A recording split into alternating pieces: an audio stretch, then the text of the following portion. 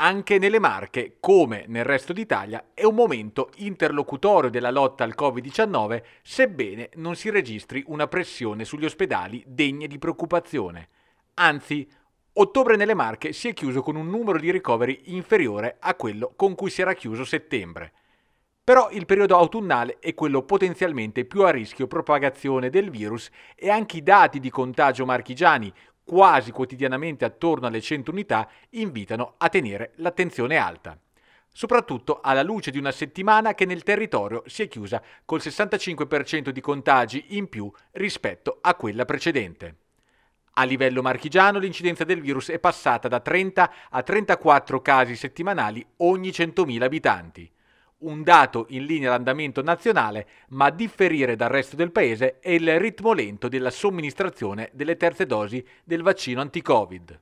Secondo i dati del Ministero della Salute, le Marche sono infatti al diciottesimo posto per quanto riguarda la somministrazione della dose aggiuntiva per raggiungere un adeguato livello di risposta immunitaria.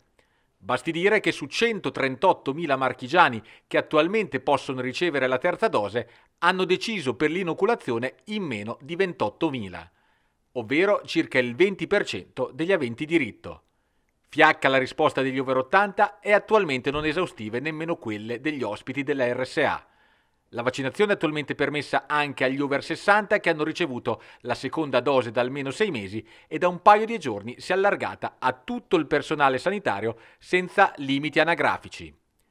Se si continua a seguire lo schema delle precedenti vaccinazioni, fra le prossime categorie potrebbe esserci l'apertura a insegnanti e personale scolastico per rinforzare la salvaguardia di un ambiente didattico che in questo finale di ottobre conta una cinquantina di classi in quarantena in tutto il territorio marchigiano.